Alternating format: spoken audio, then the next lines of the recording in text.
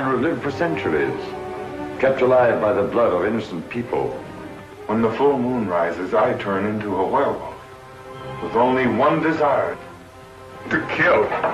I tried to perform the miracle of science and failed. My blood is contaminated with the blood of Dracula.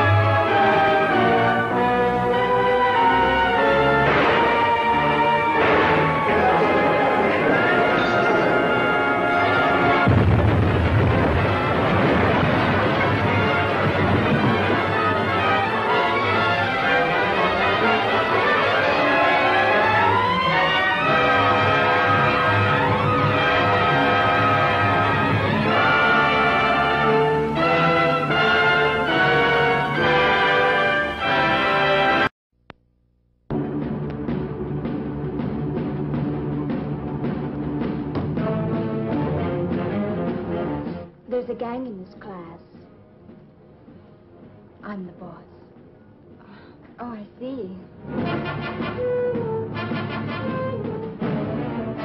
Biologically speaking, it's of primary importance that man should want to mate. Hey, that's a star! biology. What should a girl do? Join up with the gang or go it alone? Pretty Yvonne Lime lives on the screen these dramatic and important events in every young girl's life. Her first sincere kiss. I don't want my girl messing around with those creeps.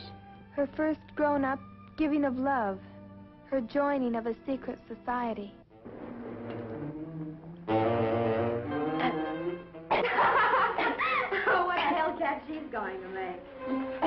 The Hellcats are the Hellraisers in every high school, determined to be different, daring, defiant, dedicated to doing well all the wrong things. Did you ever steal? No. You'll learn. If you're gonna ditch me on a Saturday night, you can spend a whole day with your Hellcats. You know how to reach me when you want to apologize.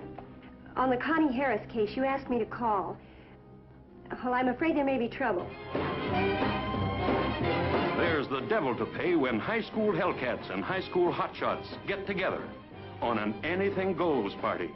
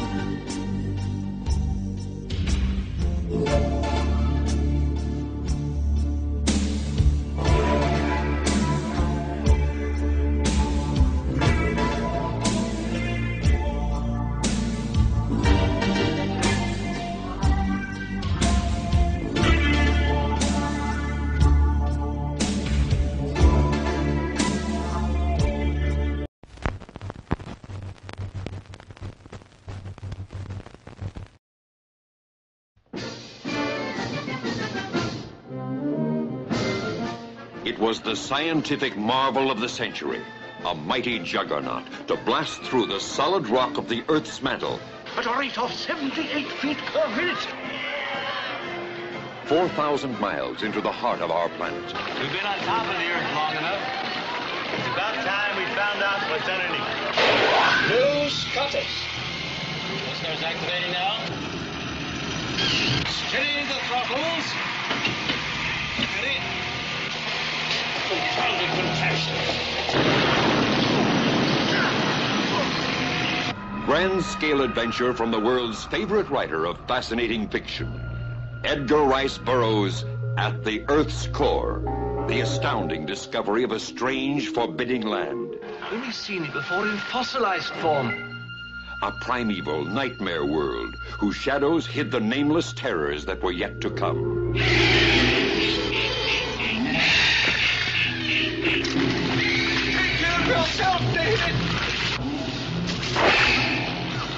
Humans of another age, chained in bondage by an army of ape men, preyed upon by monstrous giants.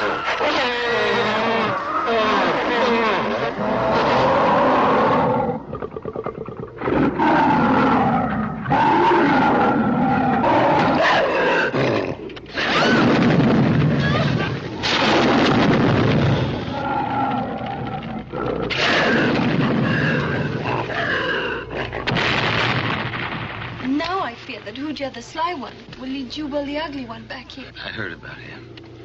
David, he will kill you.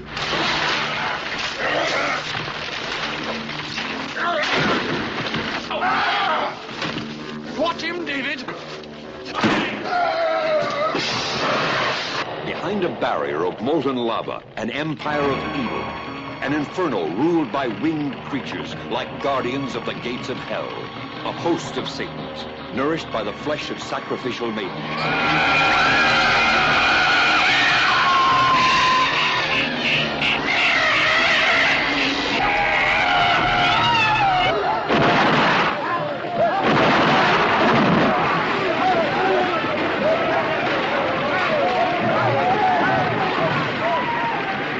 Starring Doug McClure, Peter Cushing, Caroline Munro. Take the most terrifying journey of your life. Edgar Rice Burroughs at the Earth's core.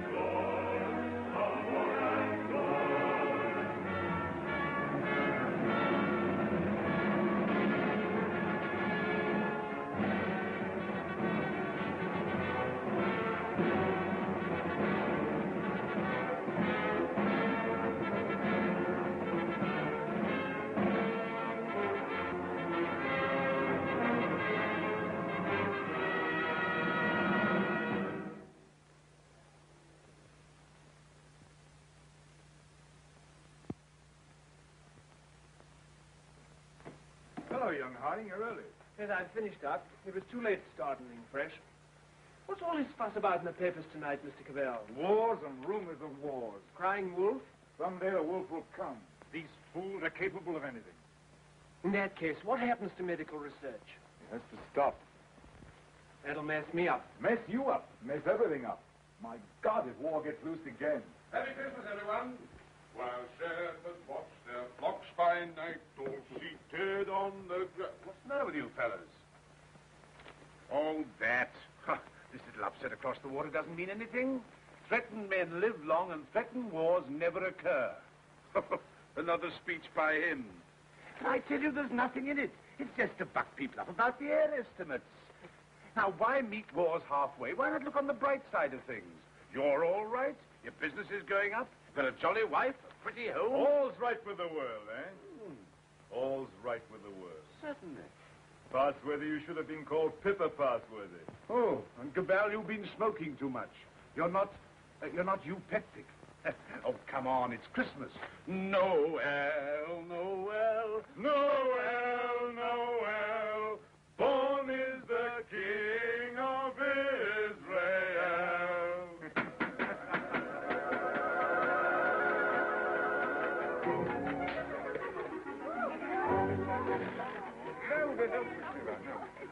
Nice toys they have nowadays.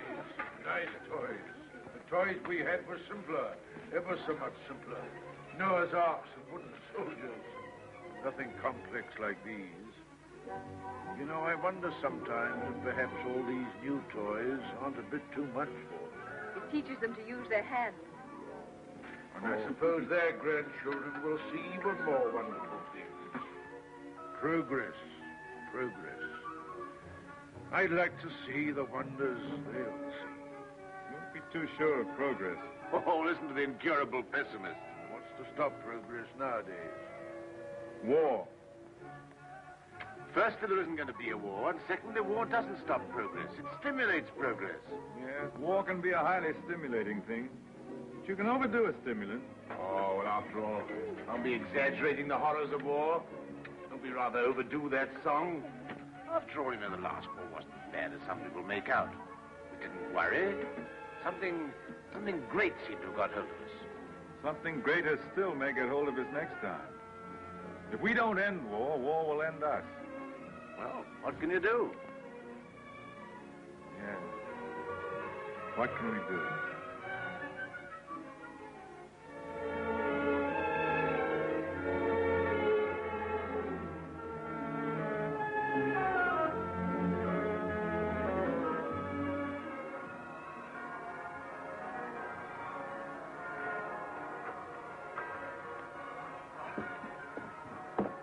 Goodwill towards men. Real old-fashioned Christmas this year. Fresh little snow with a nip in the air, eh? What is that? Sounded like a gun. Guns here. Merry Christmas, Cabal. Here's to another good year for all of us. Another year of recovery, eh? What is Searchlight doing now? yes. Well, it must be anti-aircraft maneuvers. Maneuvers at Christmas? No. Listen, guns again.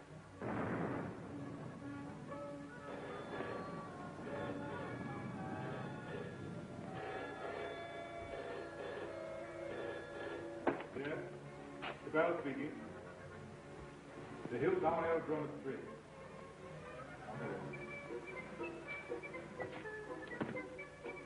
Mobilization. Oh, God. Perhaps it's only precautionary mobilization.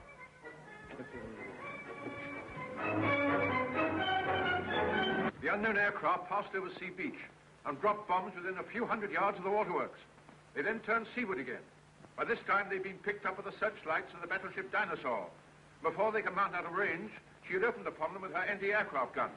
Unfortunately, without result. Of course, everyone has said this time they'll start without any declaration of war. Oh, listen. We do not yet know the nationality of these aircraft, though of course there can be little doubt of their place of origin. But before all things, it is necessary for the country to keep calm. No doubt the losses suffered by the fleet are serious. That losses of the fleet? And it is imperative that the whole nation should at once stand to arms. Orders for a general mobilization have been issued, and the precautionary civilian organization against gas will at once be put into operation. Our instructions have just come to hand. We shall cut off for five minutes, and then read you the general instructions. Please call in all your friends. Call in everyone you can. You've got your stimulant, Passworthy. Something great has got you. War has come.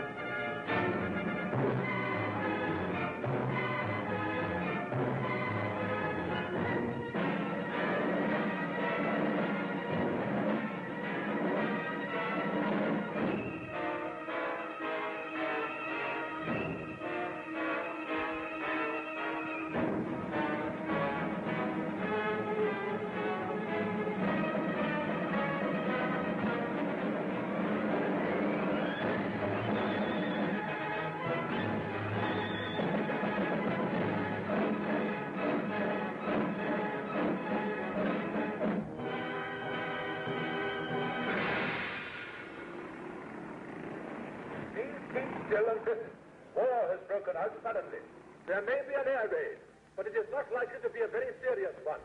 You must be prepared for it. The danger will not be great. As soon as the danger is over, bugles will sound all clear. The streets will be dangerous. Do not assemble in crowds. Keep indoors. Go home. Those who are far from home can take refuge in the underground railways. Go home. Go home. Go home. Get out of the square. Get out of the street. Go home and keep home.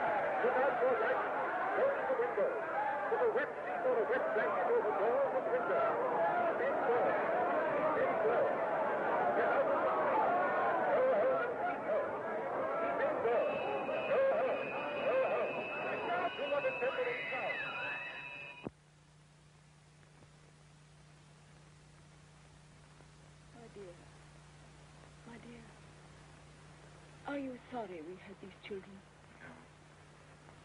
No. Life must carry on.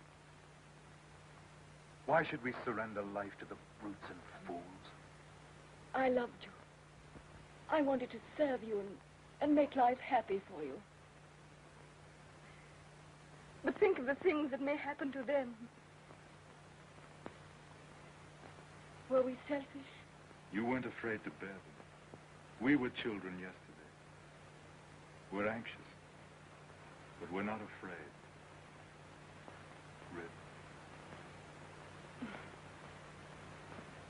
Courage, my dear. And may that little heart have courage.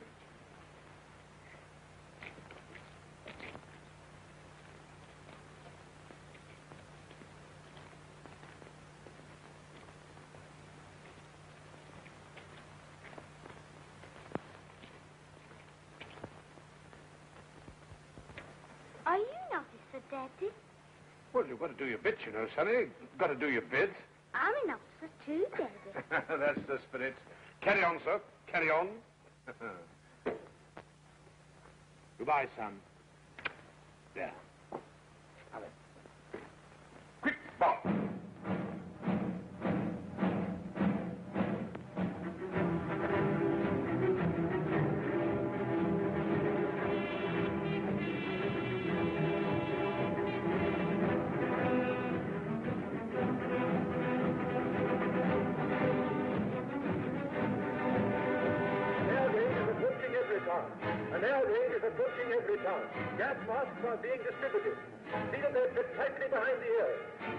Cover. Get under cover at once. The enemy are not in any great force, but our anti-aircraft gunners will speedily dispose of them.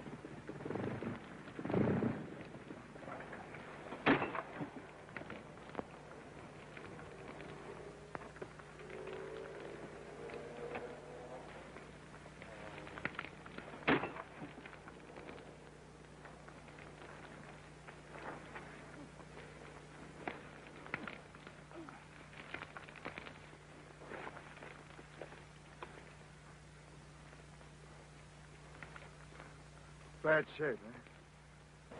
Why does it come to this? God, why do we have to murder each other? Go, my friend. That is my guess.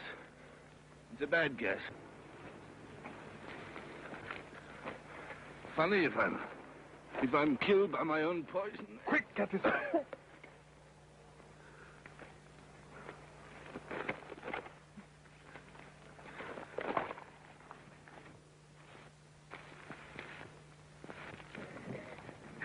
Get Give it to her.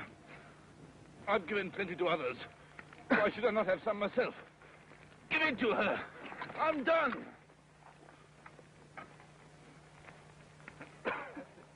Breathe through your mouth.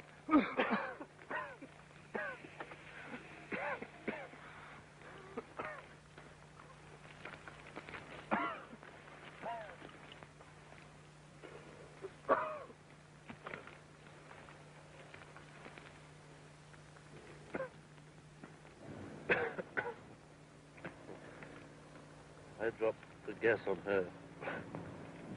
Maybe I've killed her father and mother. Maybe I've killed her whole family. and then I go and give up my mask to save her. that's, that's funny.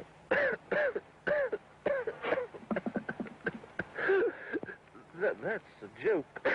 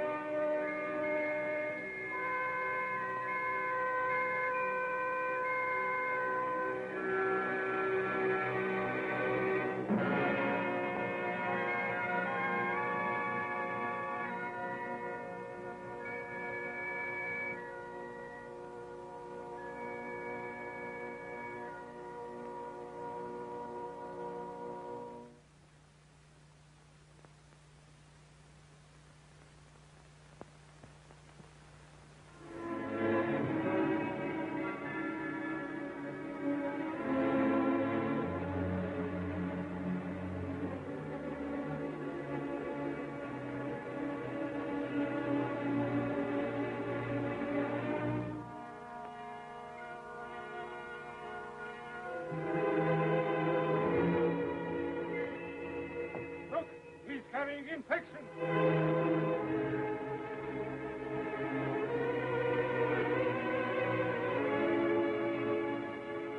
Harding here.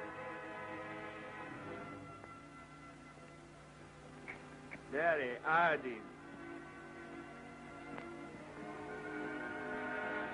No more left, Father. This is the last drop.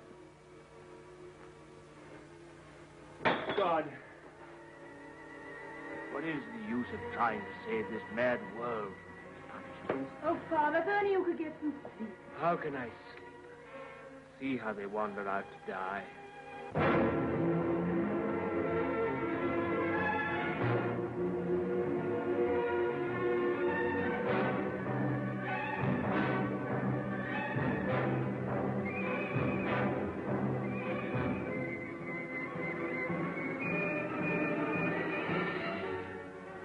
Why don't you shoot them?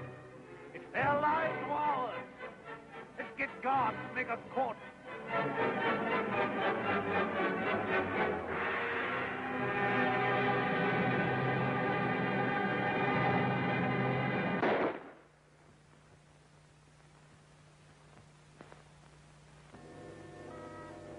That's how they dealt with the pestilence in the Dark Ages.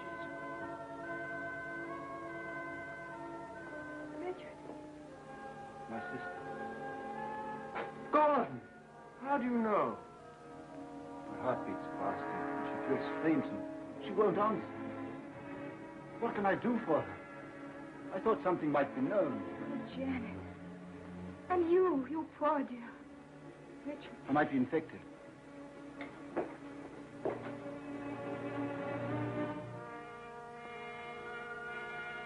Is there nothing to make her comfortable?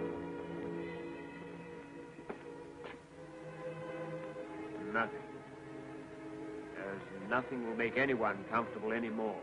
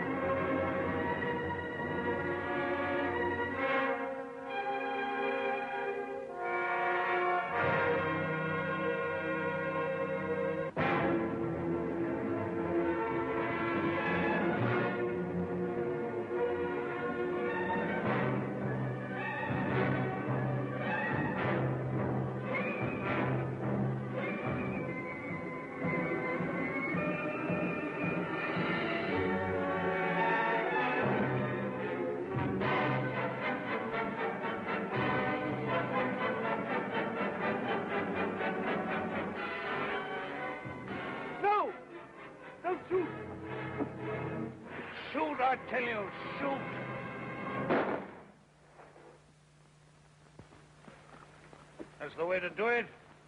Shoot them!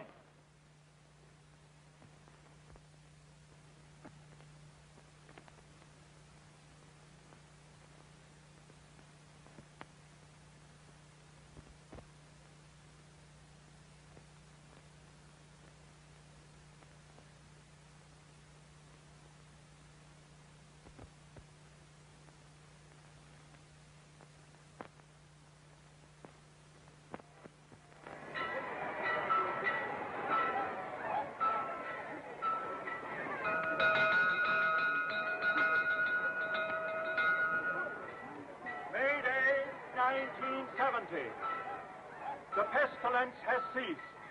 Thanks to the determined action of our chief in shooting all wanderers, there have been no cases for two months. The pestilence has been conquered.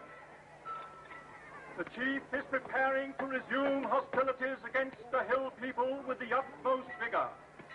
Soon we shall have victory and peace. All is well. God save the chief. God save our land.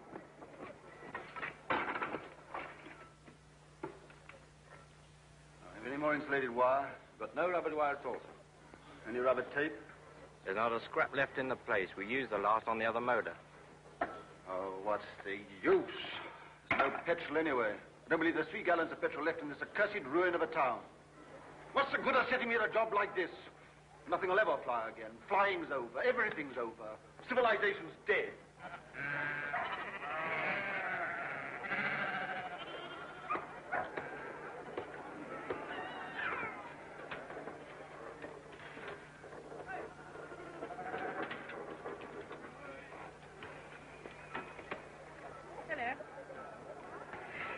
They're old, Yes. It's a good pre-pestilence machine. I oil it and turn it over at times. You think it'll go fast someday, still? Oh, I'm not one of your petrol hoarders. But all the same, that engine turns over still. Why, I remember when I was a lad, when it was new, we thought nothing of going a hundred miles in it. A whole hundred miles. Less than three hours I've done it in. Well, that sort of thing's all gone now. Gone forever, huh? Right, sir. Yep, yep. Richard, What is it? you won't think me mad. Why, darling? I thought I heard an aeroplane this morning. At dawn. I thought it was a dream, but Nonsense. I tell you, flying's finished. We shall never get in the air again. Never.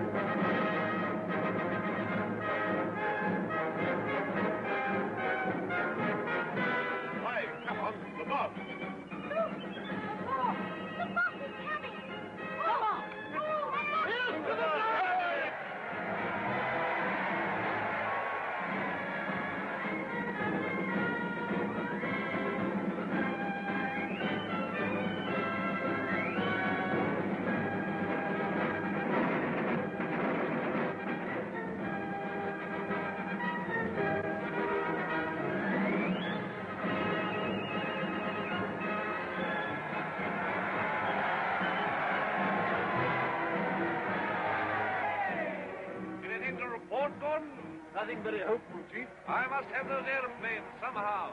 I do what I can, but you can't fly without petrol. I'll get petrol for you. Trust me. You look after the machines. I know you haven't got the stuff, but you can get round that. For example, transfer parts. Use bits of one to mend another. Be resourceful. Give me only ten machines in working order. Give me only five. I don't want them all. And we'll end this war of ours forever. I'll see you get your reward. Is your wife, Gordon? You keep her well hidden. Salutation, lady. Must use your influence with our master mechanic. The competent state wants his service. I'm sure my husband does his best for you. That's hardly enough, lady. The competent state demands miracles. Not everyone can work miracles as you do, Chief. Oh, I'm sure you could work miracles if you tried, lady. Rudolph! Lady, lady, I showed it to you, but you said you didn't want it. Wadsky's been up to his tricks again. And he'll have to answer for them. But he's been keeping things back from me again. Only Wadsky keeps things back. What do you think of our master mechanic here? The one let me have those planes of mine to end this war of ours with the Hillmen. Well, can't you make him? I thought you could make everybody do everything. Some things you can't do, madam. You can't fly without petrol. You can't mend machines without tools or materials. You've gone back too far. Flying's become a lost skill in Everytown. Are you really as stupid as that? I'm as helpless as that. And now, Chief, what are you going to do about it? He's going to let me have those machines, and I'm going to let him have coal. Stuff to make oil. It's a lost skill. It's a dream of the...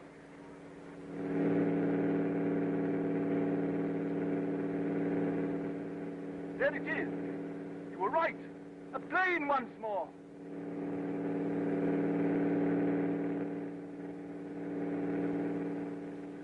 Look, there he is. Look! He's shutting off. He's coming down. What's the of? They got airplanes before us, and you told me we couldn't fly anymore. Well, we've been fumbling, they've been active. Here's some of you, you and you. Find out who this is and what it means. There's only one man in it, hold him. Somewhere they can still make new machines. I didn't dream it was still possible. Yes, but who is this man? How did he dare come here? Fetch him to the town hall, guard his machine, and bring him to me there.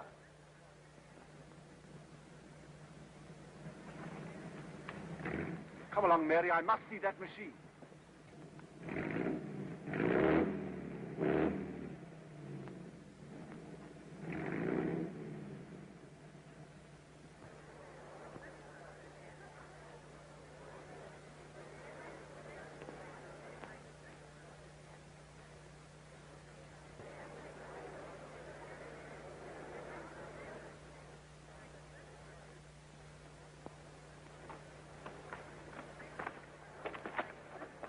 Who's in control of this part of the country? The chief. What we call the boss. Good. I want to see him. He sent me to arrest you. You can't do that. But I'll come and see him. Well, you're under arrest whether you'll admit it or not. The country's in a state of war. Well, come along. I know the way.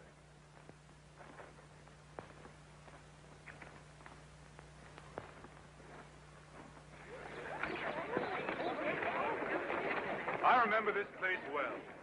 I used to live over there for years. Ever heard of a man named Passworthy? Harding? Dr. Harding? Look, here he comes now. Yes,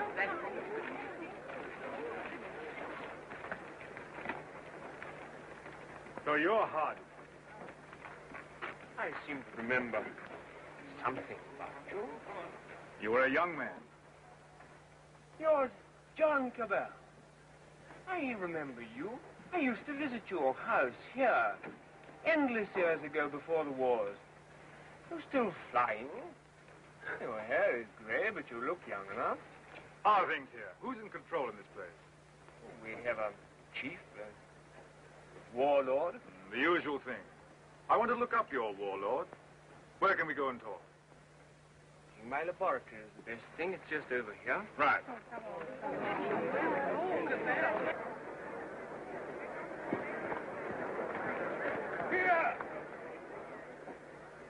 You can't go in there. You're under arrest. You've got to go with me to the chief. All in good time. I must see this gentleman first. Well, you've got to go with me. Orders are orders. The boss first.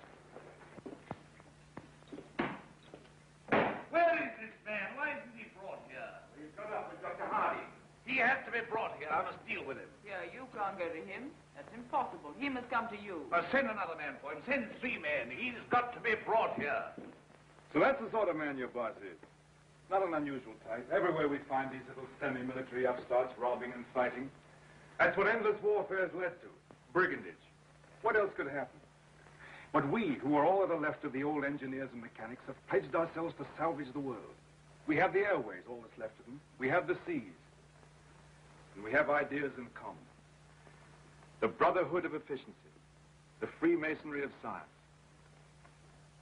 We're the last trustees of civilization when everything else has failed.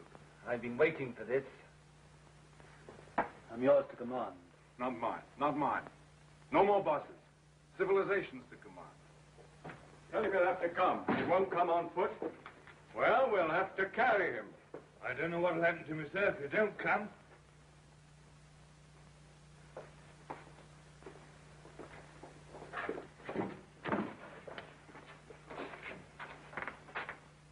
Well, what do you want to see me about? Who are you? Do you know this country's at war? At war? Still at it, eh? We must clean that up. What do you mean we must clean that up? All war. Who are you, I say? The law. Law and sanity. I'm the law here. I said law and sanity. Where do you come from? Who are you? Wings over the world. Well, you know you can't come into a country like this in this fashion. I'm here. Do you mind if I sit down? And now, for the fourth time, who are you? I tell you, wings over the world. That's nothing. What government are you under? Common sense. I belong to World Communications. We just run ourselves. Eh? You'll run into trouble if you try and land here in wartime. What's the game? Order and trade. Trade, eh? Can you do anything in munitions? Not our line of business. Fuel, spare parts, we've got planes, we've got planes. I've got boys that have trained a bit on the ground. We've no fuel. It hampers us. We might do a deal. We might. I know where I can get some fuel. I've got my plans later, but if you can manage a temporary accommodation, we do business. World Communications helps no one to make war. End war, end war. I want to make victorious peace. I seem to have heard that phrase before, when I was a young man. But it made no end of war. Now, look here, Mr. Aviator. Let's see how we stand. Come down to actuality. The way you swagger, you don't seem to realize you're under arrest. You and your machine. You will find other planes looking for me if I happen to be delayed. We'll deal with them later.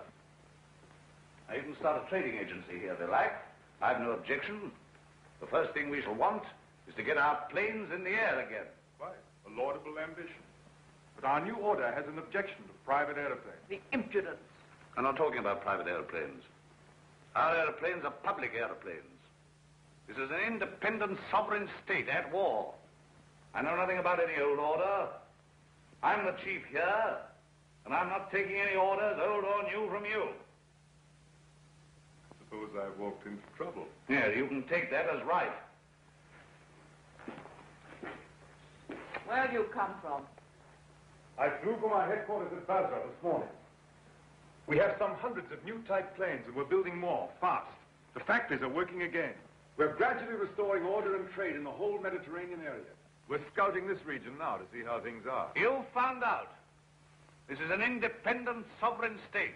Yes, we must talk about that. We don't discuss it. We don't approve of independent sovereign states. You don't approve. We mean to stop them. That's war. If you will. All right, I think we know how we stand. Burton, take this man. If he gives you any trouble, club him. You hear that, Mr. Wings over your wits? My friends know my whereabouts. If I don't come back, they'll send a force to find me. Perhaps they won't find you. They'll find you. They'll find me ready. Take him to the detention room downstairs.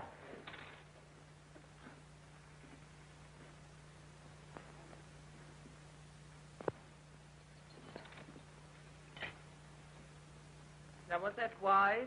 Wise? Yes, wise to quarrel with him at once. Quarrel with him? Confound him, he began to quarrel with me. Eh? You must clean that up. Clean that up.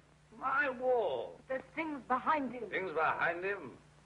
Some sort of aerial bus driver standing up to me. Like an equal. So you lost your temper and you bullied him. I don't bully, I just handle the man.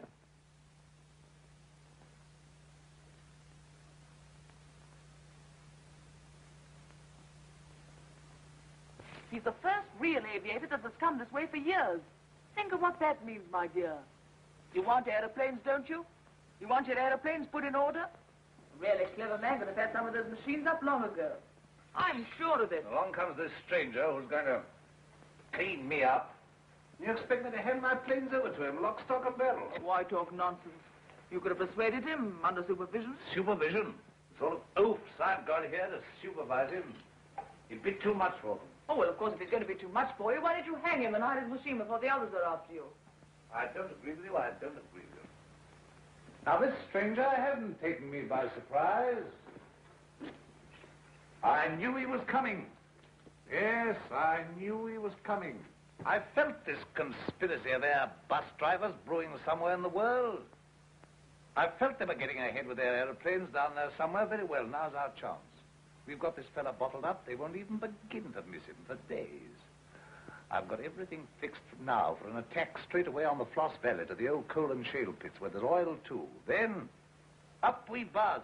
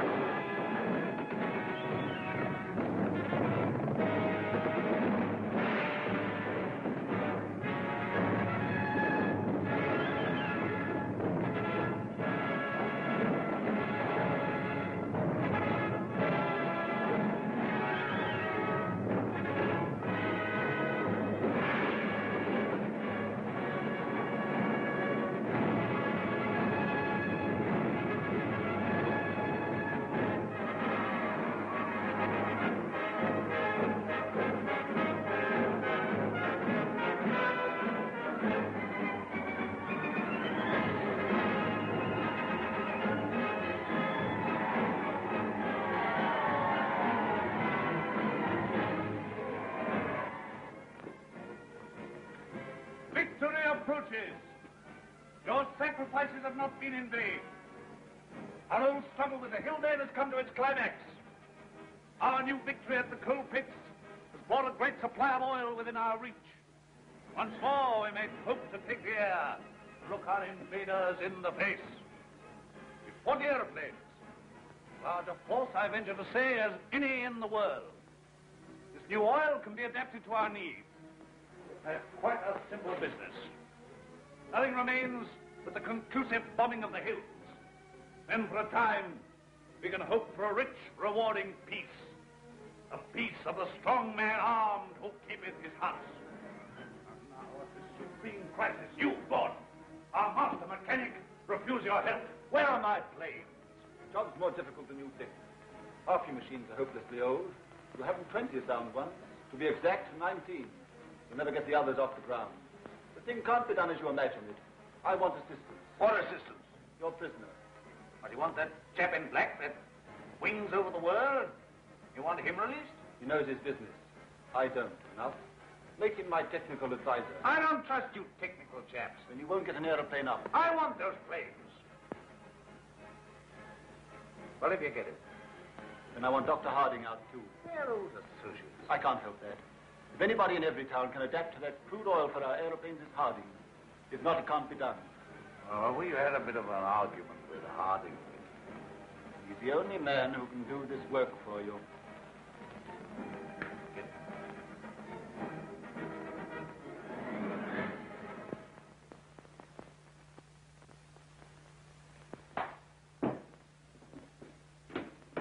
Undo his hands. Well? Well, what? The salute. Damn the salute.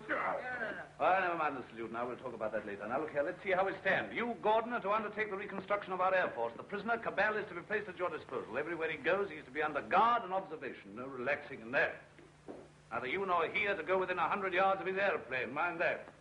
Now, you, Harding, are to assist Gordon with his fuel problem and place your knowledge of poison gas at our disposal. I have nothing to do with poison gas. You've got the knowledge if I had to wring it out of you. State, your mother, your father, the totality of your interests. No discipline can be too severe for the man that denies that by word or deed. Nonsense. We have a duty to civilization. You and your sort are driving us straight back to eternal barbarism. But this is pure treason. I protest against being dragged away from my work. Confound your silly war, your war material, and all the rest of it. All my life has been interrupted and wasted and spoiled by war. I'll not stand it any longer. But this is treason, treason, No, no, no, stop that. We've need of your service. Well, what do you want? You're conscripted. You're under my orders now, and under no other orders in the world. I'm master here. I'm the state. I need fuel and gas. Neither fuel nor gas. You refuse? Absolutely. I don't want to be forced to extremities. May I have a word? I understand you want all of those out-of-date clocks of yours, which you call your Air Force, to fly again, and fly well. They shall! With the help of that man, Cabal, you have in the cells, Dr. Harding here, you may even have a dozen of your planes in the air again. You. You're a traitor to civilization. I won't touch it. If you will give me Cabal, and if you leave me free to talk with Harding, I promise you you'll see your Air Force, a third of it at any rate, in the sky again. You talk as if you're driving a bargain with me. I'm sorry, Chief. It's not I who makes these conditions. This is the nature of things. You're going to have technical services. You're going to have scientific help without treating the men who give it to you properly. That's what I've said all along. No bullying too hard, my dear. There's a limit to bullying. You can't make a dog hunt by beating it. I want those planes. I wanted to look at you. I am at your service, madam. You're the most interesting thing that has happened in Everytown for years. You honor me. You come from outside. I began to forget there was anything outside. I want to hear about it. May I offer you my only chair? Well, I'm not a stupid woman. I'm sure. This life here is limited. War, always going on and never ending. Flags, marching. Oh, I adore the chief. I've always adored him since he took control in the pestilence days when everyone else lost heart. He rules. He's firm. Everyone, every woman finds him strong and attractive. I can't complain. I have everything that is to be had here, and yet this is a small, limited world we live in. You bring in the breath of something greater. When I saw you swooping down out of the air, when I saw you marching into the town hall, I felt this man lives in a greater world. And you spoke of the Mediterranean and the East, of your camps and factories. I've read about the Mediterranean, and Egypt, and Greece, and India. Oh, I can read. A lot of those old books. I'm not like most of the younger people here. I learned a lot before education stopped and schools closed down. I want to see that world. Skies, snowy mountains, blue seas, sunshine, If I had my way, you could fly to all that in a couple of hours. If you were free, and if I was free. I don't suppose any man has ever understood any woman since the beginning of things. You don't understand our imagination, how wild our imaginations can be. I wish I were a man. Oh, if I were a man. What are your people trying to do to us? What are you going to do to this boss of mine? The immediate question seems, what does he mean to do to me? Something violent and foolish? Unless I prevent it. That's how I see things. And if he kills you? We shall come here and clean things up. But if you're killed, how can you say we? We go on. That's how things are. We are taking hold of things. In science and government in the long run, no man is indispensable. The human things go on. We, forever. I see. And this warlike state of ours here. It has to vanish, like the Tyrannosaurus and the saber-toothed tiger. So here you are. I said I should talk to him, and I have. I told you to leave that fellow alone. Yes, and set up there drinking and swaggering and looking as proud as you could. Rudolph the Victorious. And here am I trying to find out what this black invader means. You think I wanted to come and talk to him? This gray, cold man? While you're swaggering here, there are more planes away there at Basra getting ready. Basra? His headquarters. Have you never heard of Basra? These are matters for us to talk about. This lady has been putting me through a severe cross-examination. But the gist of it is that away there in Basra, new aeroplanes are rising night and day, like hornets round a hornet's nest. What happens to me is a small affair. They'll finish you.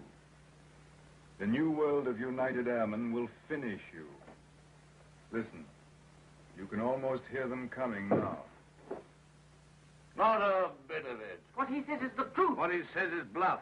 Make peace with the airmen and let him go. That means surrender of our sovereign independence. But more machines will be coming and more and more. And he's here, hostage for their good behavior. Come, madam, enough of this little diplomatic mission of yours. You've got the subtlety of a bullfrog.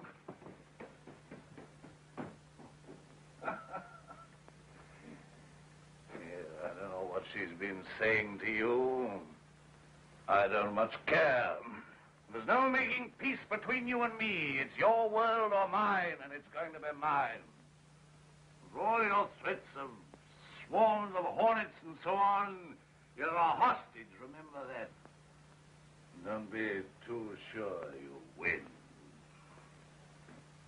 So just sit here and think that over, Mr. Wings over the world. Now get round to the other side and look at these engine barrel braces, quickly.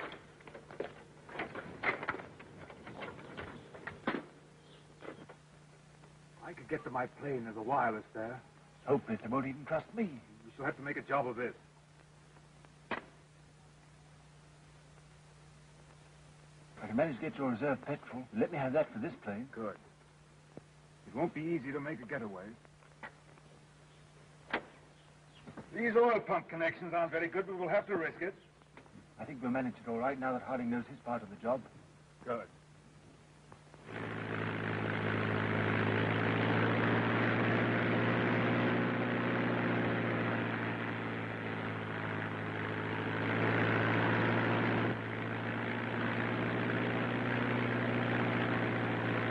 Look, it's your Gordon. He's flying at last.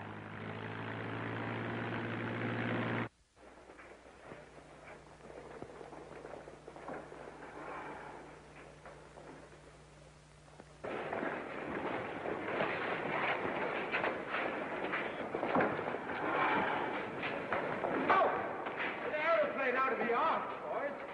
This is free war.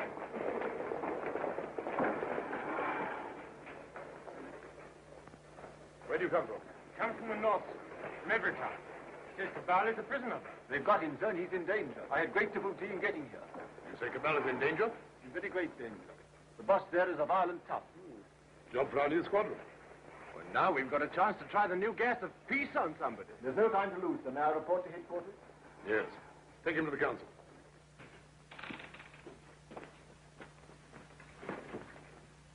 At last we have definite news. What is it? Gordon didn't fall into the sea. He got away. A fishing boat saw him making for the French coast. Perhaps he reached his pals. Well? Well, he'll be coming back. He'll be bringing the others with him. Curse these world communications. Curse all airmen and gasmen and machine men. Why didn't we leave their machines and their sciences alone? I might have known. Why did I tamper with flying? Well, we needed airplanes against the hill state. Somebody else would have started in again with airplanes and gas and bombs if we hadn't. These people would have come interfering anyhow. Why was all this science ever allowed? Why was it ever let begin? Science is an enemy of everything that's natural in life. I dreamt of those fellows last night, great, ugly, black, inhuman chaps, powerful like machines, bombing and bombing. I guess they'll come bombing, all right. Then we'll fight them.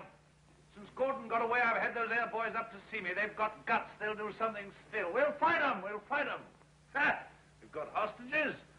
And they didn't shoot them anyway. It was that chap Harding. Of course. He can tell us what to do against this gas. If I have to pull his arm off and knock his teeth down his throat. Get him! Get him! Harding.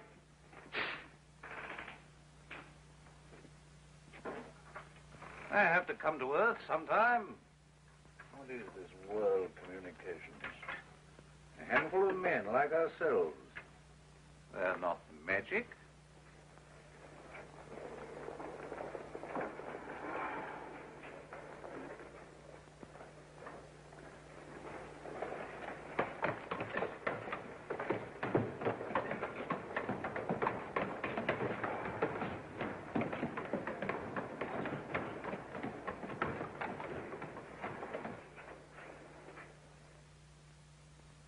To you I entrust these good, tried, tested machines. You are not mechanics, you are warriors. You have been trained not to think, but to do. Maybe to die. I salute you. I, your chief.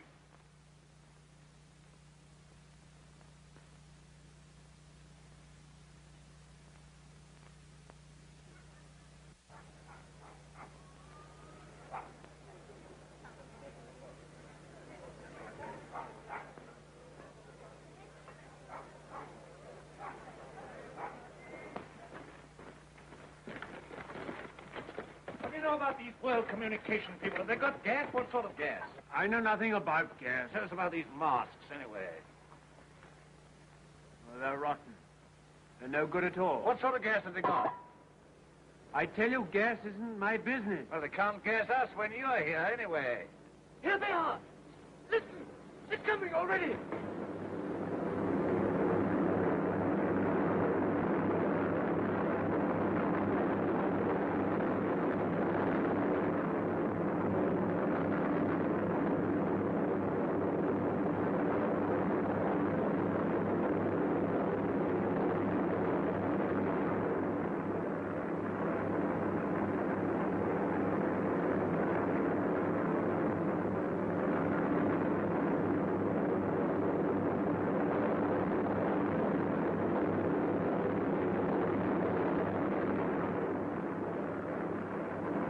We're here.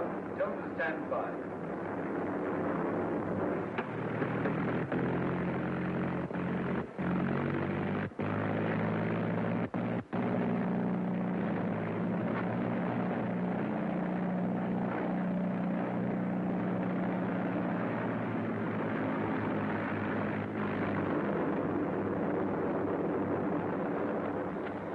Clumsy great things.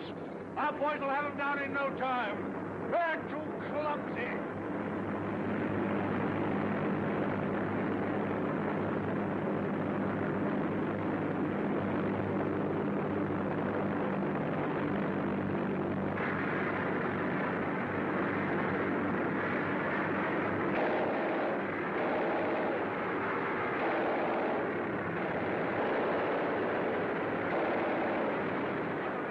up with the rest of our fellows. Go on. Up at him.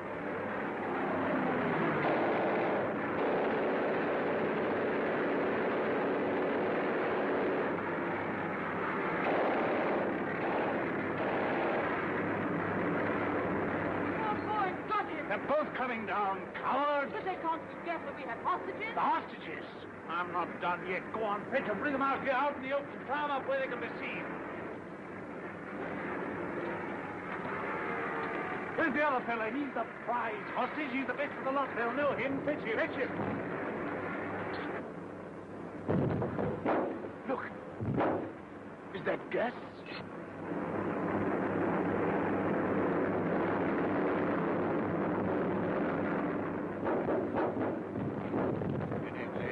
You won't get out of this. You? Don't you see we're beaten? Shoot them! What are you all doing? Why don't you move? I never did you any harm. I saved your father and I saved you. Couldn't you call up your man there to stop this? I won't have it like this. What's happening? Everything's swimming. Shoot! Shoot! We never shot enough yet. We never shot enough. We spared them, now they've got us. Oh, world of theirs. Why should I be beaten like this? Shoot!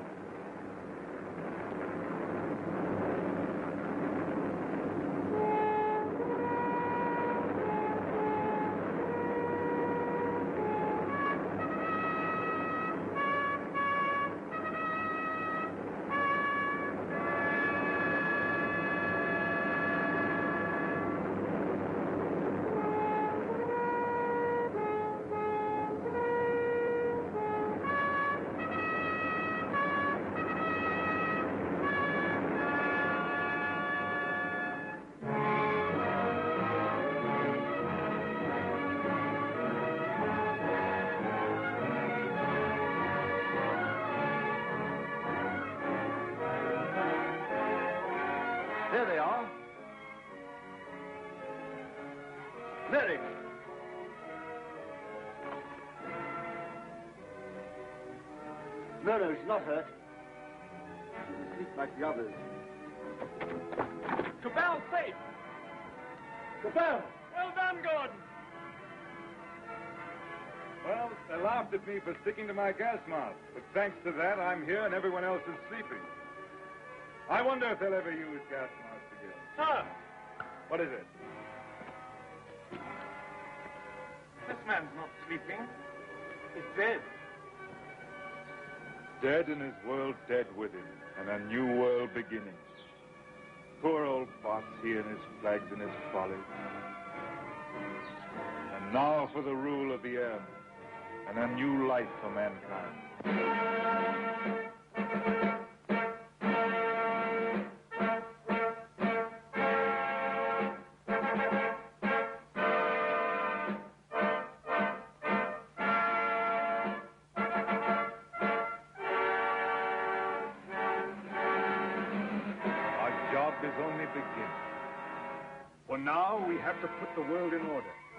It will be a long and complicated struggle, but we have the unity of a common order and a common knowledge.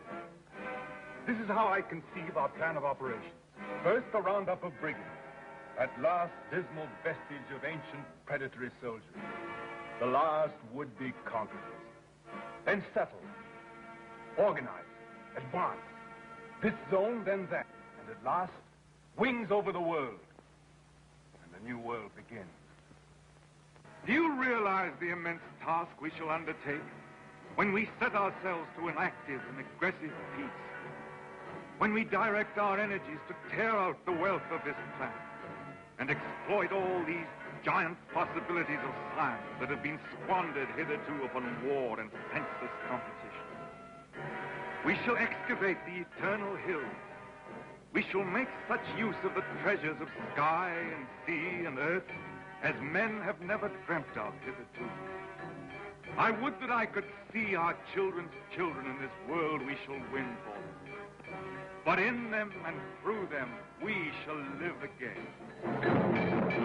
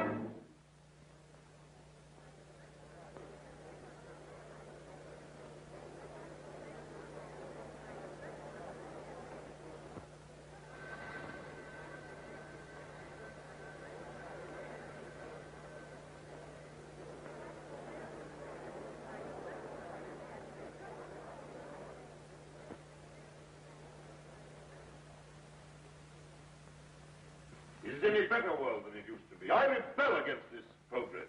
What has this progress, this world civilization done to us? Machines and marvels. They've built these great cities of theirs, yes. They've prolonged life, yes. They've conquered nature, they say, and made a great white world. Is it any jollier than the world used to be in the good old days, when life was short and hot and merry and the devil took the hindmost? All the same, what can we do about it? Rebel. And rebel now. Now. Now is the time. Why now in particular? Why, because of this space gun business. Because of this project to shoot human beings at the stars. People don't like it, shooting humans away into hard, frozen darkness. They're murmuring. They've murmured before and nothing came of it. Because they had no leader. But now, suppose someone cried, Halt! Stop this progress! Suppose I shouted to the world, make an end to this progress. I could talk, talk. Radio is everywhere. This modern world is full of voices. I'm a master craftsman. I have the right to talk. Yes, but will they listen to you? They'll listen, trust them. If I shout, Arise! Awake! Stop this progress before it is too late!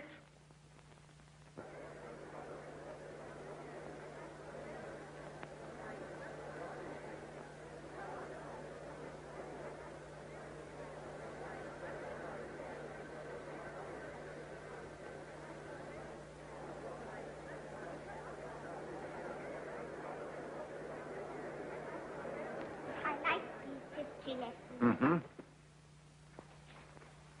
What a funny place New York was. All sticking up and full of windows. Hmm. They built houses like that in the old days. Why? They'd no light inside their cities as we have, so they had to stick them up into the daylight. What there was of it. They'd no properly mixed and conditioned air. Everybody lived half out of doors. They had windows with triple glass. The age of windows lasted four centuries. I never seemed to realize that we could light the interiors of our houses with sunshine of our own, so there was no need to stick them up ever so high into the air. They keep on inventing new things now, don't they? And making life lovelier and lovelier. Lovelier, yes. And bolder. I suppose I'm an old man, my dear, but some of it seems like going too far. This space gun of theirs that they keep on shooting. What is this space gun, great grandfather? Well, it's a gun that is charged by electricity. It- it- it's a lot of guns inside one another, and each one discharges the gun next inside. I don't properly understand it, but the cylinder it shoots out last goes swish right away from the earth. I wish I could fly around the moon. Well, that in time. Won't you come back to your history pictures again? I'm glad I didn't live in the old world. I know that John Cabal and his airmen tidied it all up. Did you see John Cabal, great granddad? Well, you can see him in your pictures. You saw him when he lived. You really saw him? Yes. I saw the great John Cabal with my own eyes when I was a little boy. He was a lean, brown old man with hair as white as mine. He was the great grandfather of our Oswald Cabal, the president of our council.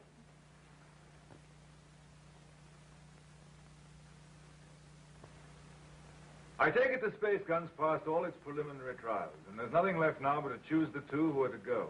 That's going to be the trouble. Thousands of young people have been applying. Young men and young women. I never dreamt the moon was so attractive. Practically, the gun's perfect now. There are risks, but reasonable risks. And the position of the moon in the next three or four months gives us the best conditions for getting there. It's only the, the choice of the two now that matters. Well? There are going to be difficulties. That man Theotocopulos is talking on the radio about it. He's a fantastic fellow. Yes, but he's making trouble. It's not going to be easy to choose these young people. With all these thousands offering themselves, We've looked into thousands of cases. We've rejected everyone of imperfect health, or anyone who had friends who objected. And the fact is, we want you to talk to two people. There's Raymond Passworthy of General Fabric. You know him? Yes, I know And his son. We want you to see the son, Maurice Passworthy. Why? He asks to go. We think you ought to see him. He's waiting here. Is Maurice Passworthy there? He's on his way. Good.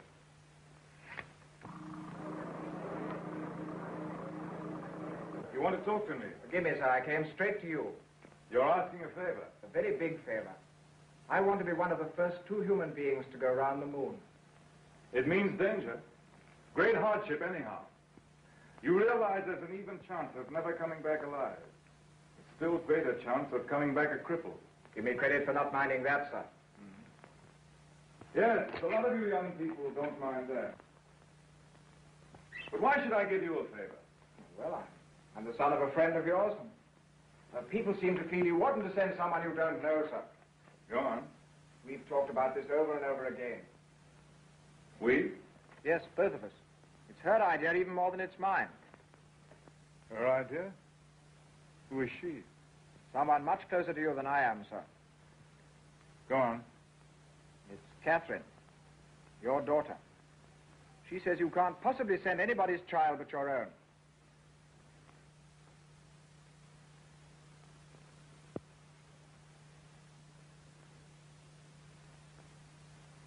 I might have known. Today I'm going to put it to the world plainly. Is this thing to go on? Or are we sane and normal human beings to put an end to it and an end to all such follies forever?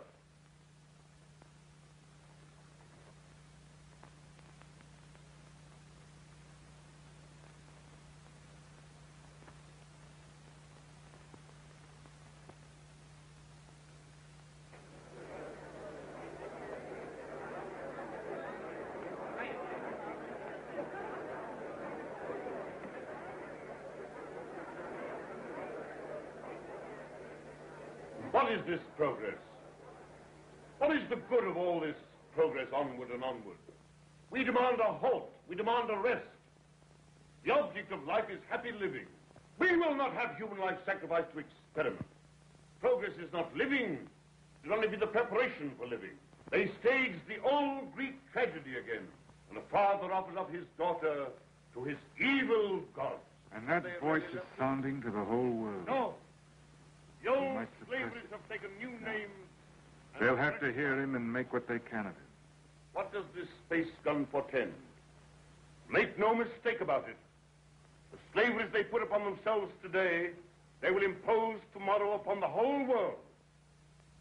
Is man never to rest, never to be free?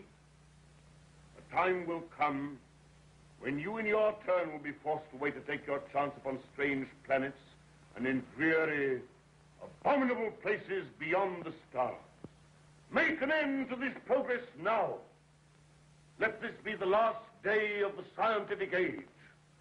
Make the space come the symbol of all that drives us and destroy it. Now!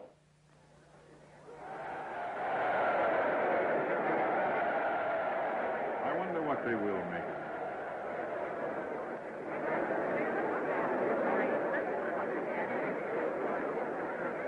Well, you, well, the great grandson of John Cabal, the air dictator, the man who changed the whole course of the world. You, you've got experiment in your blood, you and your daughter. But I'm, I'm more normal. I don't believe my boy would have thought of it. The two of them must have got together. They'll come back together. This time there's no attempt to land on the moon. When, when is this great experiment to be made? How much longer have we got before they go? When the space gun is ready. Sometime this year, do you mean? Soon. Then is there no way of saving our children from this madness? But would it be saving our children? Oh, here they are. Father, where to go? Yes, you're to go. It's announced. Two hours ago.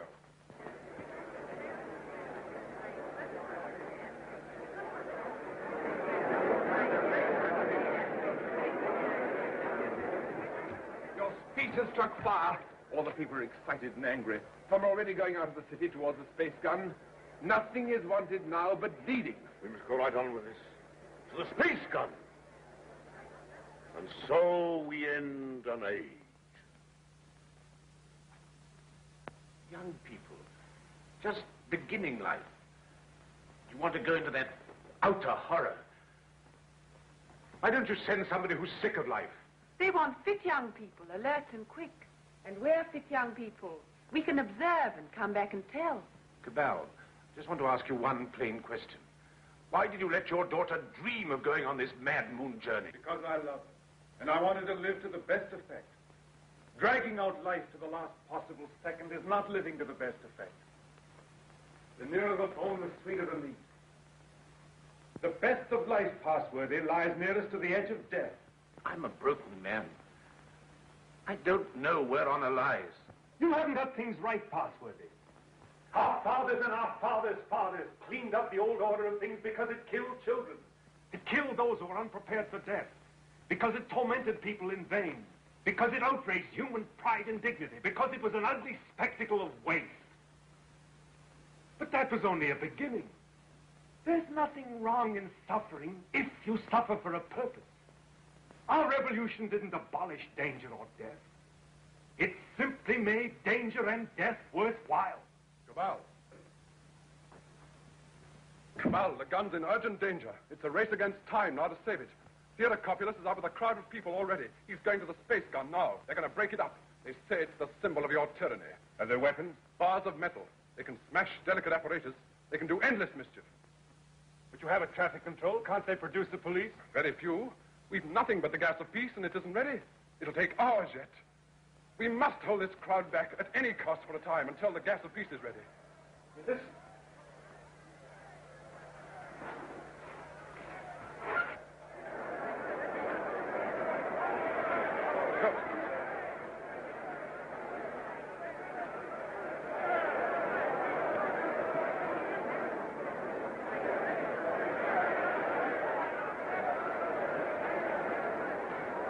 Well, they're rioting. Barbarism come back. Who are you? William Jeans, Astronomical Department, Space Guard. Well, we've stopped the airways. They'll have to go afoot. And they'll take an hour or more to get there, even those who've already started. This gun mustn't have broken up.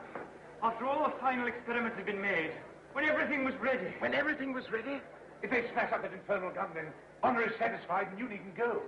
They won't smash the gun. Suppose the gun was fired now. Would the cylinder reach the moon? It would miss and fly into outer space. It's five now.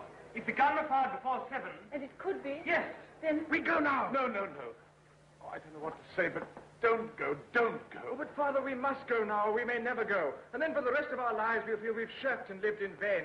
We must go now.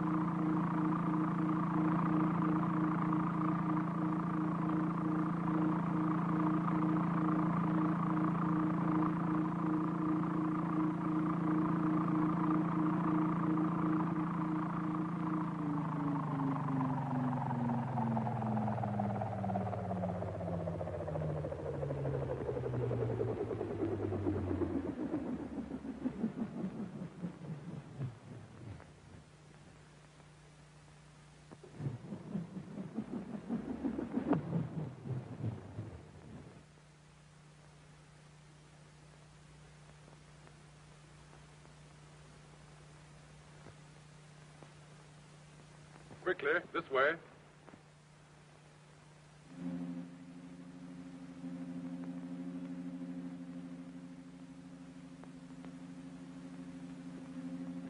If you go up to the platform, we'll guard this below. Right.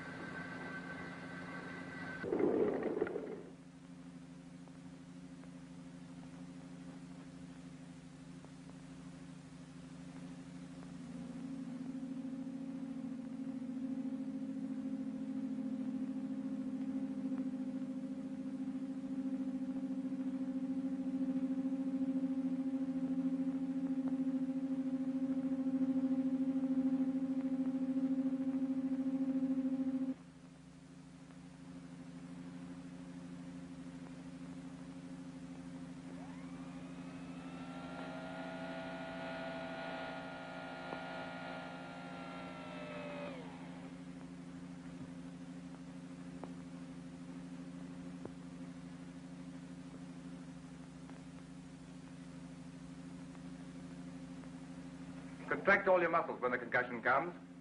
In five minutes, you'll be able to get loose and move about.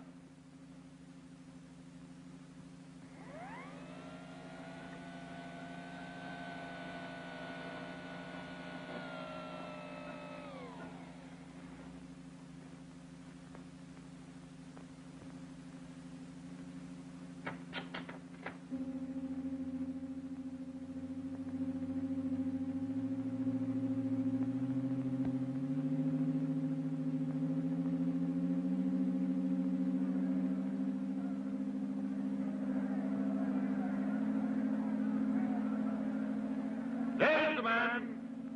There's the man who dug up daughter to the devil of science. What do you want here? We want to save these young people from your experiments. We want to put an end to this inhuman foolery. We mean to destroy that gun. We have a right to do what we like with our lives, with our sort of lives. We don't grudge you your artistic life. You have safety, plenty, all you want. We want to make the world safe for men. No one prevents you. How can we do that when your science and inventions are perpetually changing life on us? When you're everlastingly contriving strange things? When you make what we think great seem small? When you make what we think strong seem feeble? We don't want you in the same world with us. We don't want this expedition. We don't want mankind to go out to the moon and to the planets. We shall hate you more if you succeed than if you fail. Destroy the gun! Before you can even reach the base of the gun as we fire. Beware of the concussion. Beware of the concussion!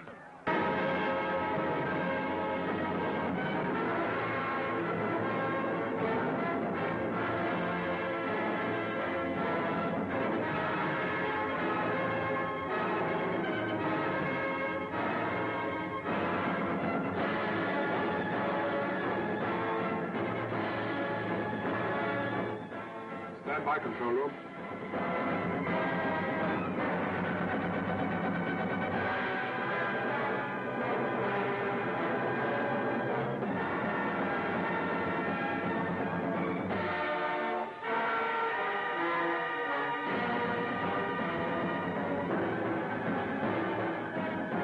Clear all outside observers.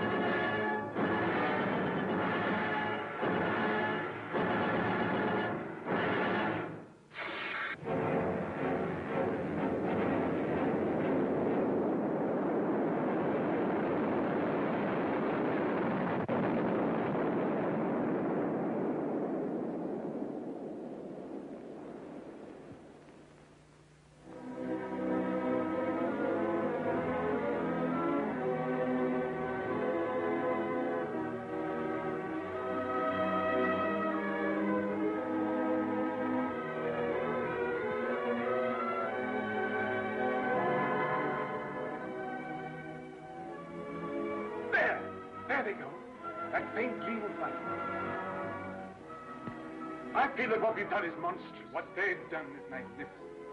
Will they come back? Yes, and go again and again, till the landing is made and the moon is conquered. This is only a beginning. If they don't come back, my son and your daughter, what of that, Cabal? Then presently others will go.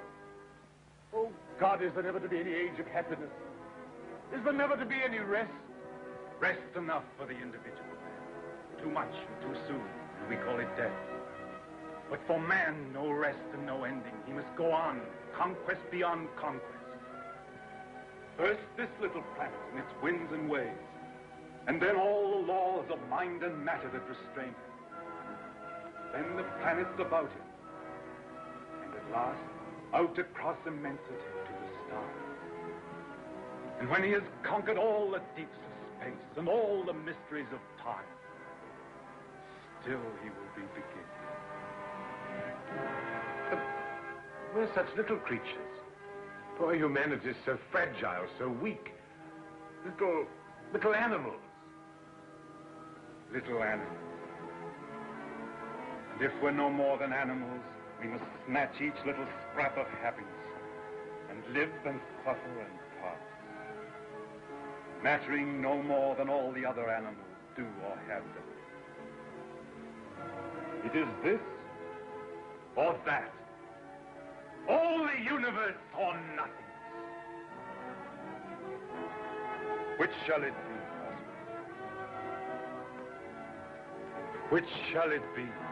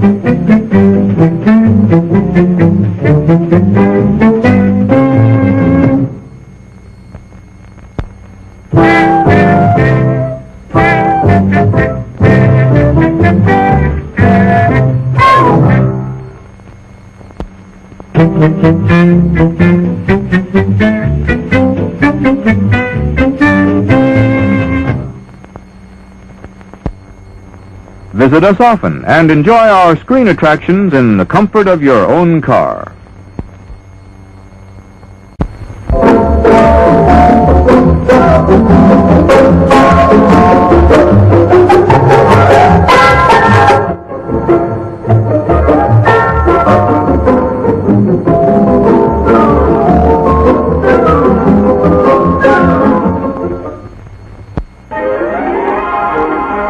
Get the drift?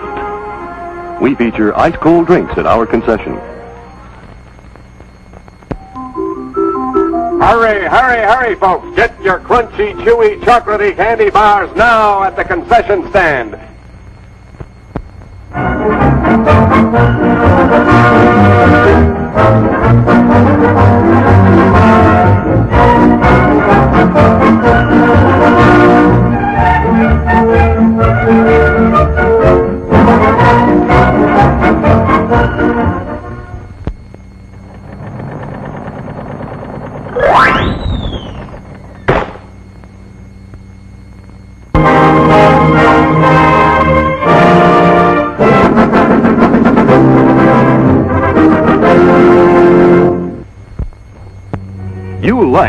Like our pizza pies, made from a famous Italian recipe.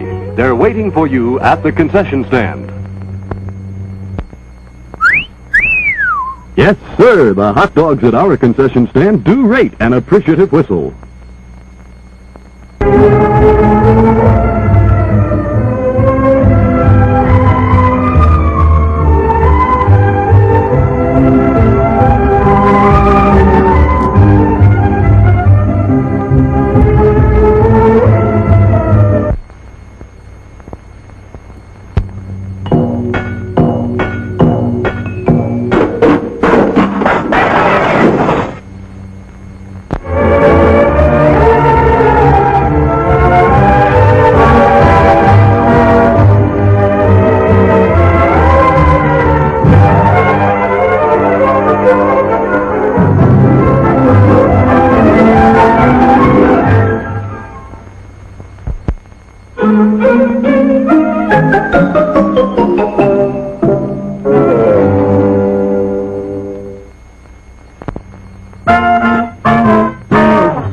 Cream bars. It's the handy way to enjoy smooth, rich, creamy ice cream. Get some.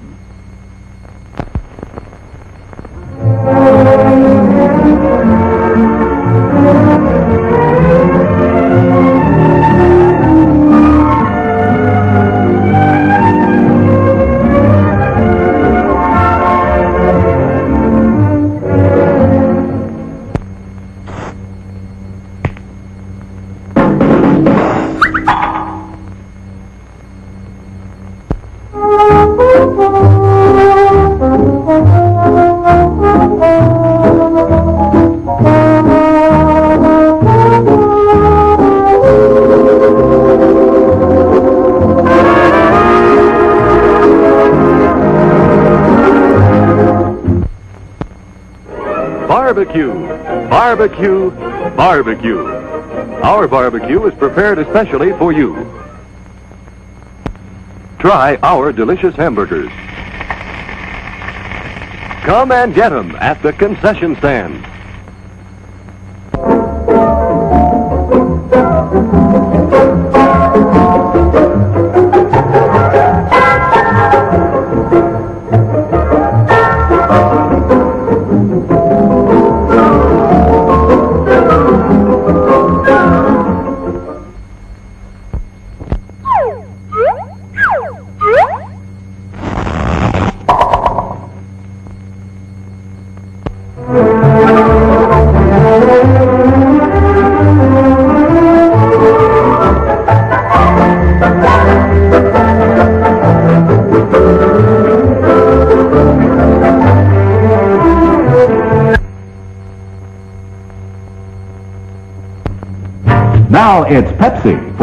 Who think young. Think young.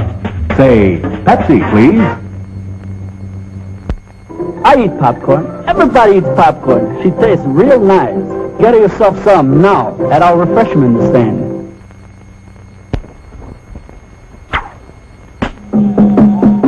The best defense against candy hunger is a counterattack.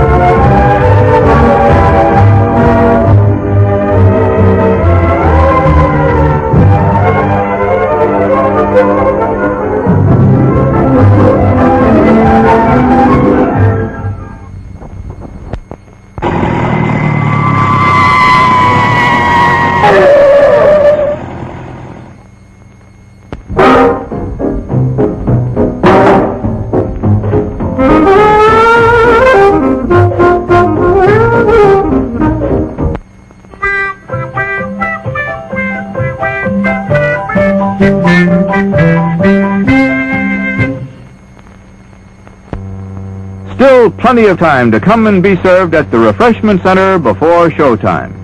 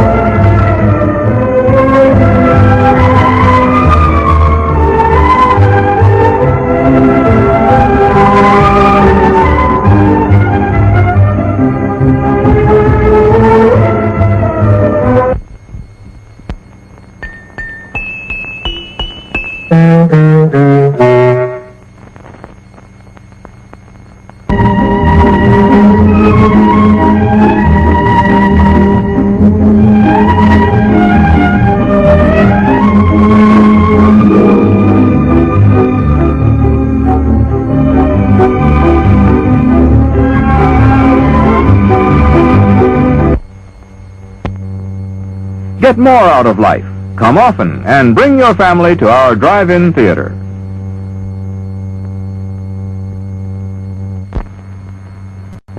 There's plenty of time to treat yourself to something good to eat at our refreshment center.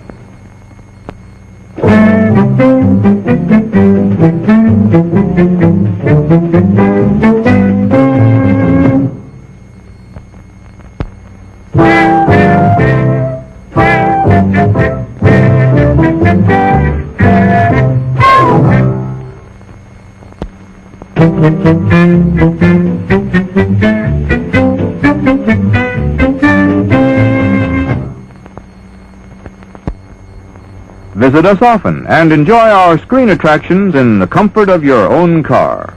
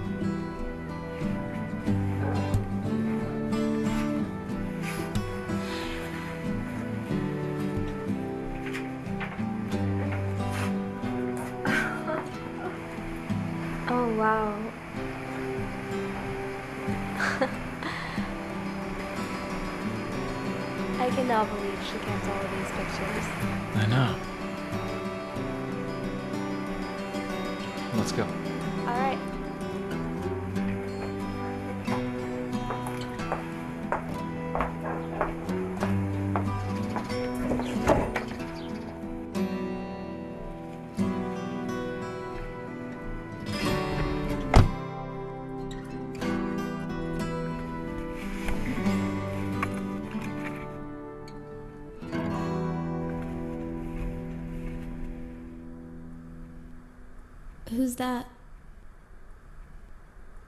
That's my mom and Keys. Daddy, Johnny used to say that we used to have a swing set in the backyard. What happened to it? Matthew, how many times do I have to tell you, Johnny is not real? You keep making him up in your head. But he is real. Jonathan! Matthew Jonathan Watkins. Okay, I am tired of hearing about this. This is the last time. You understand me? Go to your room.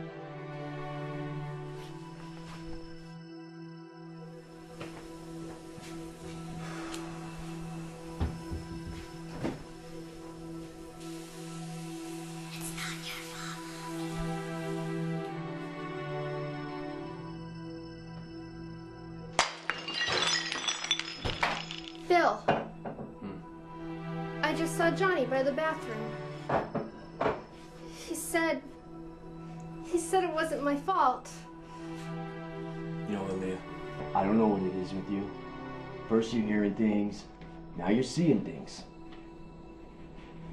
I swear to you, if you keep talking like this, I will lock you up in a mental institution and I will leave you there with all the crazy people. You understand me? Matt. Matt. Matt. What's wrong with you? Johnny. Who? That's Johnny.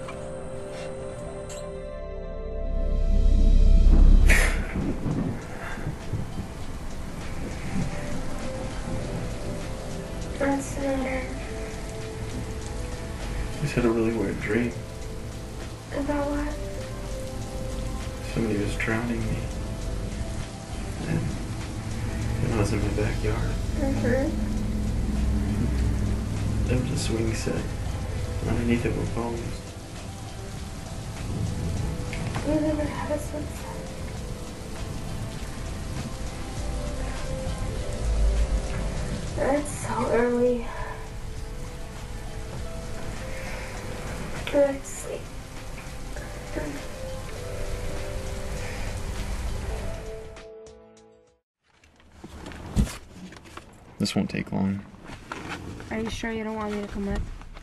Yeah, just wait here. Alright, be here.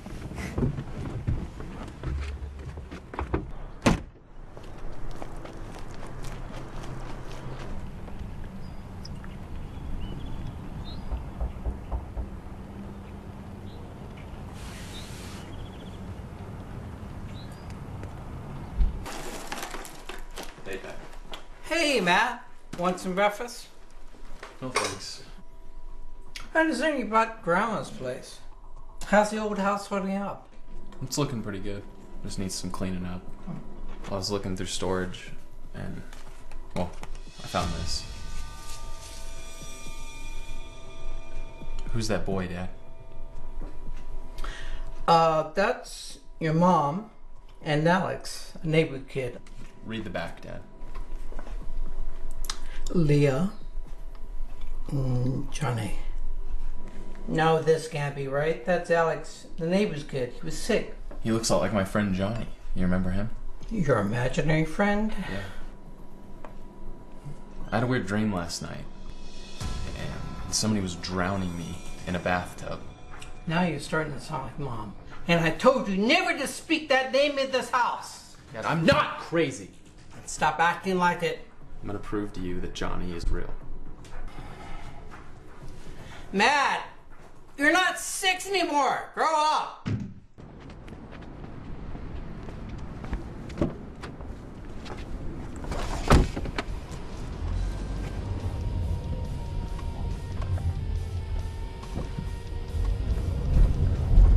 What happened? He thinks I'm crazy. So? Your dad never believed in any of that stuff anyway.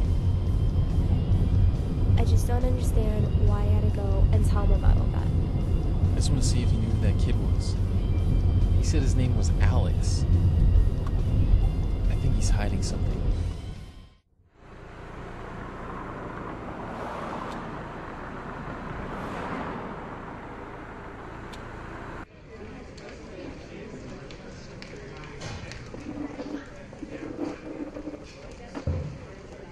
So, what's this meeting all about?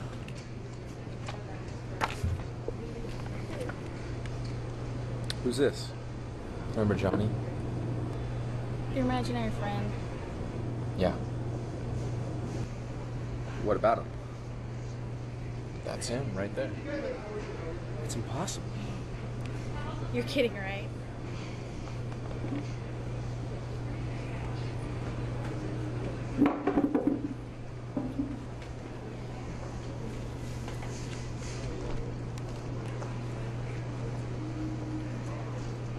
don't think your mom. I don't know. Remember when we were kids?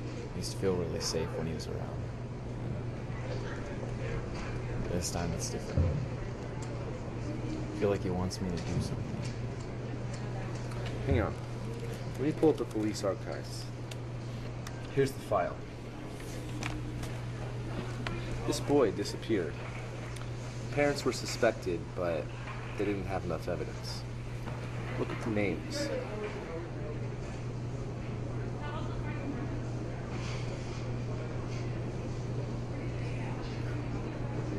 We gotta get to the bottom of this.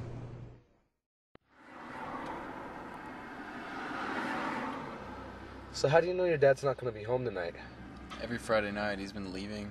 He goes to the bars. He doesn't come home till 1 or 2. And are you sure about this? Yeah, look, there he goes. Right on time.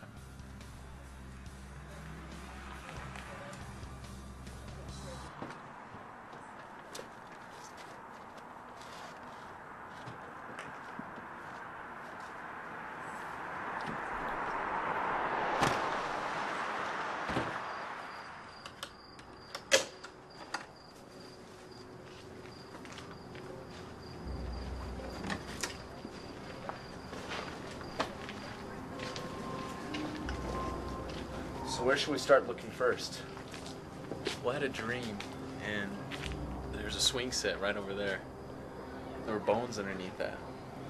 Do you really think he's buried in the backyard? Who would do such a thing?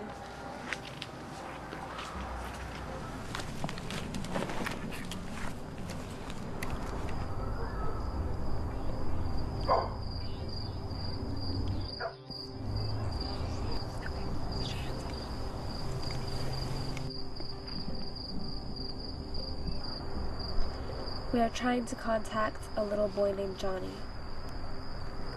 Are you with us?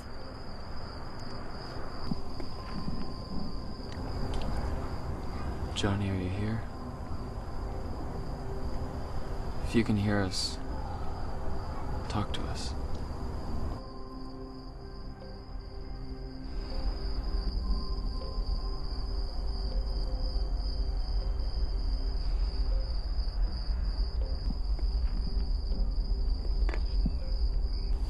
Let's go look over here.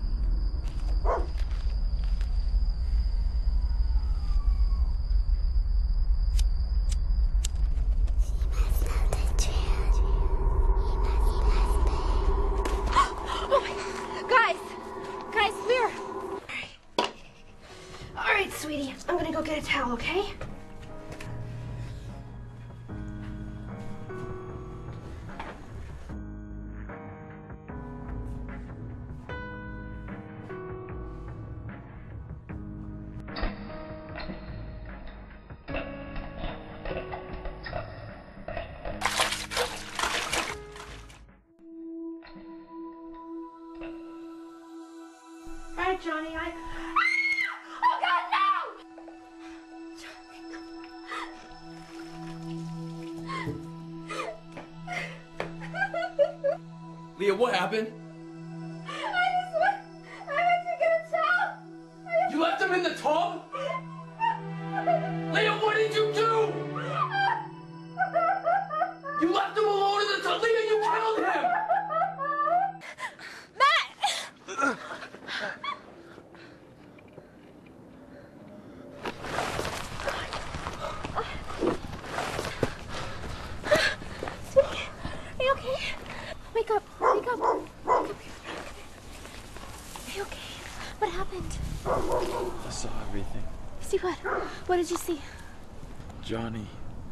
he's, he's my brother. Oh, He killed him. He, Who? Your dad? Are you saying your dad killed him? he let my mom take all the blame. That's why she lost it. oh. My god. We need to go. What lies, Dad? Tell me about Johnny. You made him up. He was all in your head. Jonathan Matthew Watkins, born February 5th, 1979, disappeared December 20th, 1984. I don't know what you're You talking know about. exactly what I'm talking about. You killed him.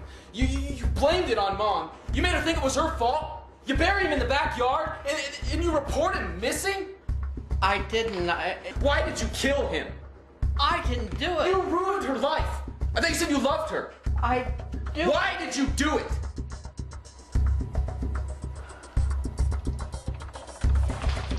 Was sick. He was sick. I couldn't go through life knowing that he'd be suffering for the rest of his. And it was making your mother sad.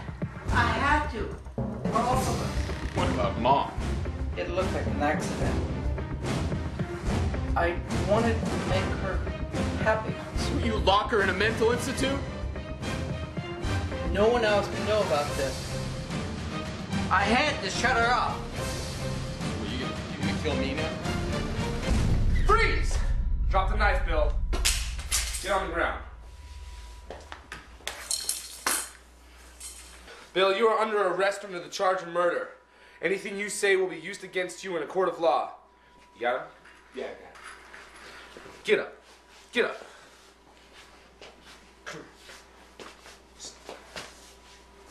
Are you okay? I think so. Come on, move.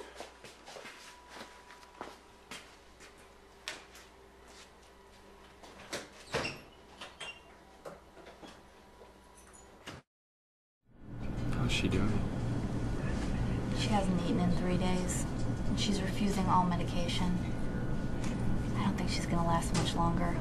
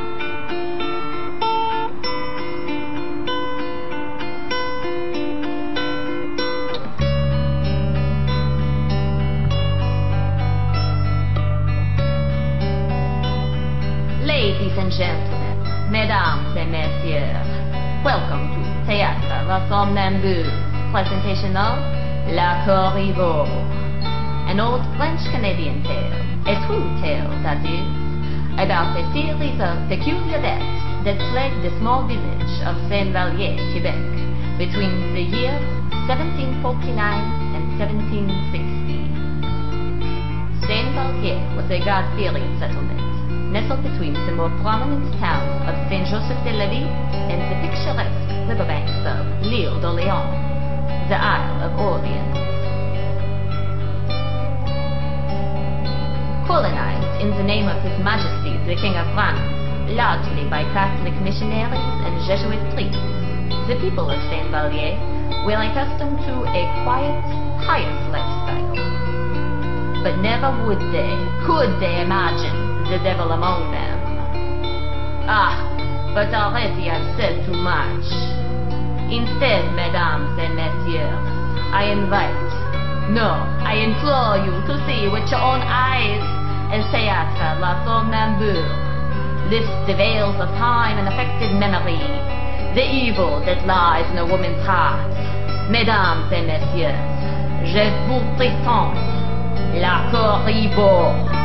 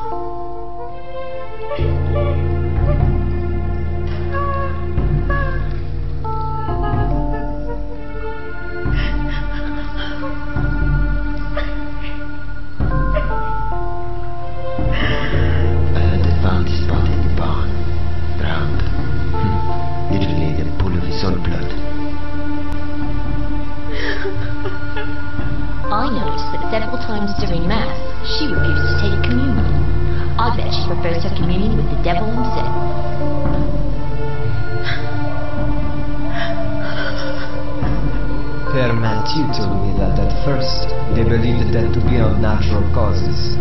But closer examination. My very own Jean Claude went along to pay respects after Philippe passed. Et qu'est-ce qu'il a dit? What did he say happened? Rien. Nothing. Between you and me, I think she'd be witched. It was weeks before he was the same. Five husbands, all of them tried with their lives. I kept hearing natural causes, bizarre accidents. But I knew there was nothing natural or accidental there. Murder.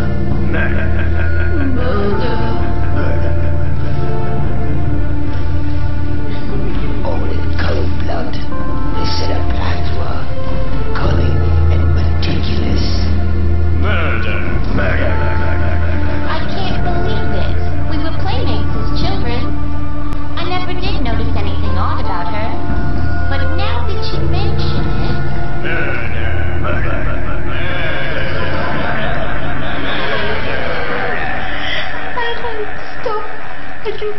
more.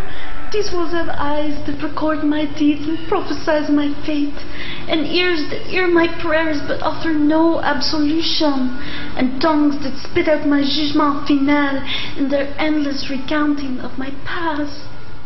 They accuse me of walking hand in hand with Lucifer himself. They would not believe me that I had no such knowledge of the divine, nor do I make it my acquaintance. My sins, my desires, they are carnal. The shadows of my deeds are pale shadows to me now, pale only as moonlight is pale, visible to all. Perhaps you see it too. You there, what do you see? Have my eyes, these rumored bewitching treasures of Satan, have they become so transparent? Or perhaps you are only curious. Perhaps you have had these thoughts too, that sinister ache for freedom, the desire to sever the ties that bind you, to tear your invisible strings from heaven and fall to hell in the execution of one perfect, pure act of free will. Do you wonder what lies on the other side? Then I am only too happy to indulge you. But listen closely, my dear friends, for they will come for me soon. And then, when the heavy weight of rumors buries my story deep into the ground with my bones, you alone will be a witness to my tale.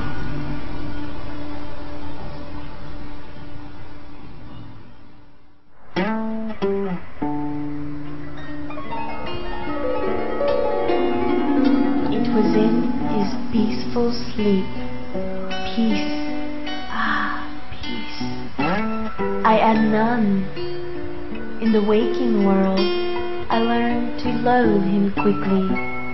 Charles Bouchard, the exemplary citizen, the true patriot, who in actuality was a poor lover and of weak character, an average man. But a fine match, so said my papa.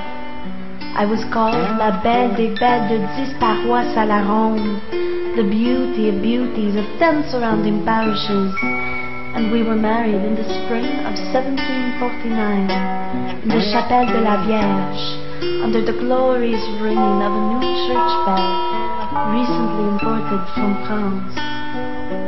In the waking world, he made up for mediocrity the way most do, working hard, dependably, a source of basic material provisions and material stability for myself and our future children. And in four years of marriage, there was nothing remarkable nor unusual about our union, save the lack of tiny rosy cheeks and fine blonde eggs in our own. We had yet to have a child. There was no choice. I was never given one, and so I exercised my will in keeping Charles out of my bed. I did not understand there was a real choice I might make, but in time I began to. In the way he suffered and collapsed under a fever that spread through our village the first winter we were together, in the rigidity of his bones where his wrist once cracked upon a nasty fall, in the fragility of his life.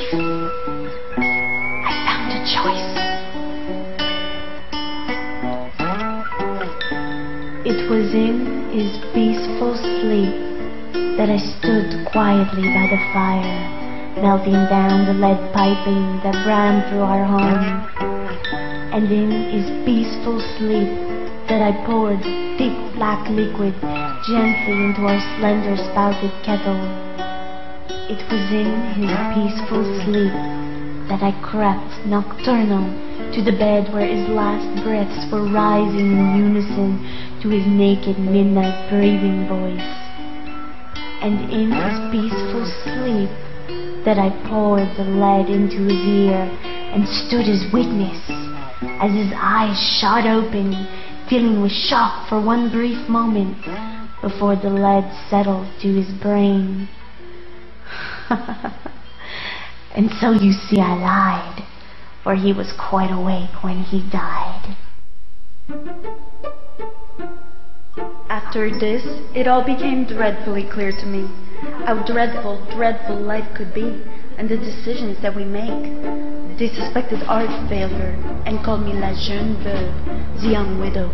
As a result, I accepted much pity and a second marriage proposal for the following winter. The earnestness of my acceptance I have trouble discerning now. I believe I tried, tried to be a good wife, to be a Christian, to comply with my fate. He tried to, kind-hearted Louis, but his kindness was only fuel to my fire. I had exchanged my freedom for small, amorous tokens and found myself bound in the limits of his making. So I bound him up instead, slipping that tasteless, odorless poison into his nightcap, which immediately began to twist and tighten his muscles in the most unnatural way. And then, when he lay on the floor, infantile and helpless, I tied his gnarled limbs hard to his body and left him to die through the night.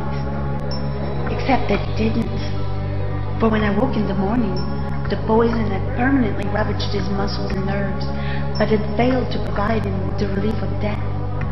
His eyes stared widely at me with fear or anger, which one I could not be sure. I felt a weakness in me. My only option was to end his suffering, and I could not take it. Instead, I left him for six more mornings through fits of restless sleep and waking, made more severe by extreme hunger and thirst, until, on the seventh day, like God, he rested. Acute dehydration was determined as his cause of death, and I informed the authorities that Louis had been bedded and feverish for several nights. I was changed. With resolve and momentum, I had made my decisions. I took a third husband after pretending a reasonable amount of grief, and arranged for him to meet his fate in the barn with one swift blow of a shovel to his head. Where is this God, I would cry in public, who would take my two loves in their sleep and allow a third to be taken at the foot of a wretched mule? For the authorities had surmised he had suffered a blow to the head, most likely the kick of a mule due to the location of his fall. I had no shortage of admirers at this point. For every gossiping item down, there was a good-hearted Lancelot, unwilling to believe the rumors, believing I was the tragic beauty, sad and sweet, and fallen upon disturbing misfortune. I chose the blacksmith Roger and roasted him by way of gasoline as he slept at night, though again I am quite sure he woke up to meet his maker. Then came Jean-Pierre, who pleaded we move to the Grand Fort City, La Ville de Quebec, to start anew, far away from the suspicions of a small-minded village. There, I would bear him children, four, possibly five, and he would provide for us with his keen sense of business and finance. I agreed, all the while knowing I would not leave my home, my papa, my lineage, all the while knowing I had no intention of bearing this man children, creating some perverse dilution of myself which could never possibly match the original. And one afternoon, as Jean-Pierre daydreamed of our escape by the river beyond our home, I clubbed him with a fallen branch and sent him to a watery grave. Sadly, after Jean-Pierre's death, my courtiers began to drop off. The almost certain outcome of a union with myself was more than they were willing to risk. Gossip in Saint Vallier ran rampant, and my papa spent sleepless nights worrying about the latest rumors, which spoke of outside authorities, British authorities, and court martials. Still, through much perseverance and charm on my part, I was preparing to wed a wandering man, Monsieur Daniel Leclerc, who had acquaintances and knew little of my past. I sat one night, reworking the stitching on my wedding dress, when a knock on the door altered my plans. Miss Corrigan, open the door immediately. This is Inspector Wellington on behalf of the British Regiment. What is it, Inspector?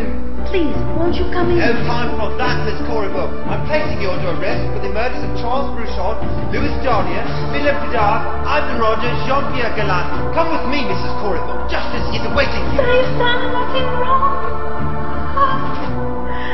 Forgive me.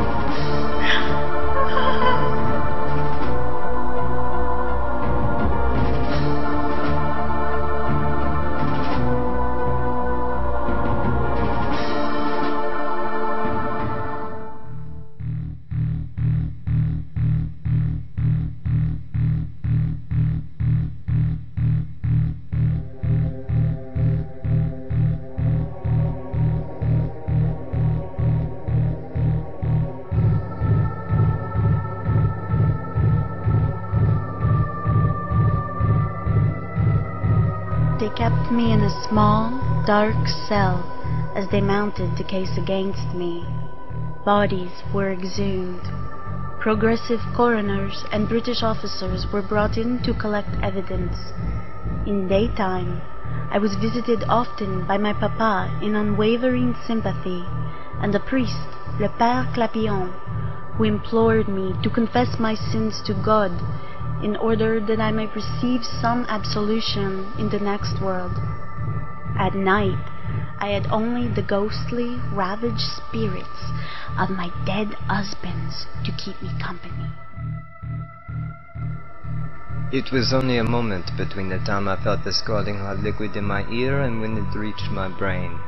Only a moment to look one last time upon my world, my wife, and to understand what was happening. But I shall spend my eternity in that moment, feeling my senses extinguished one by one, my eyes, the only accusation to my lover. Plum, lead, plum liquid, liquid lead. This is all that defines me in death. The poison worked its way through my veins throughout the night, swelling tiny blood vessels with its venom, atrophying my muscles and twisting my limbs. I thought I shall never feel such pain again in all my life, and as I endure, I shall take some comfort in that.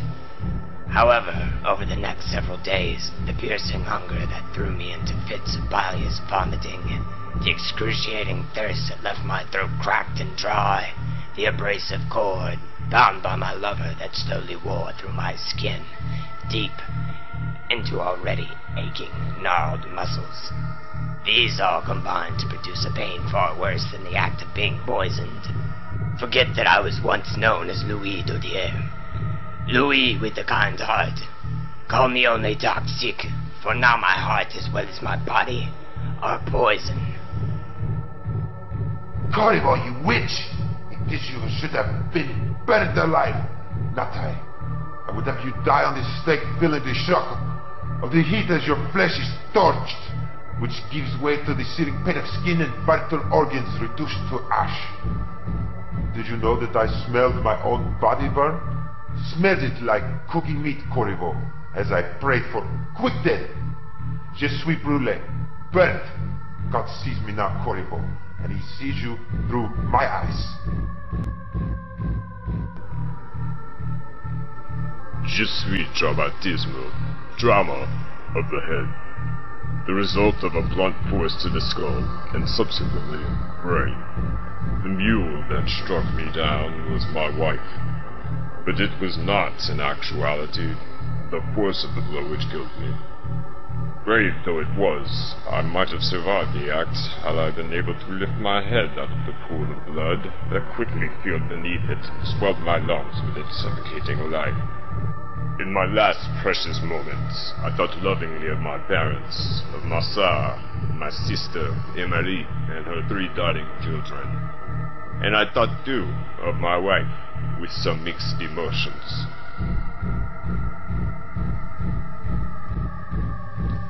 I had a dream for my wife and I. I would take her away from all the suspicion and hatred and misunderstanding that surrounded her. I would use all my resources, all my facilities to provide her with a chance, some hope. I dreamed she would be the mother of my children. Oh, such sweet children they would have been. I dreamed I would wake in the morning to see the sunshine reflected in her pale skin and dark eyes as she would sit by the window feeding our child. And it was as I dreamed these dreams that she snuck up from behind wielding a large fallen branch as I turned around to greet her. Je suis drowned as I was, for making the fatal mistake of loving La Corriveau.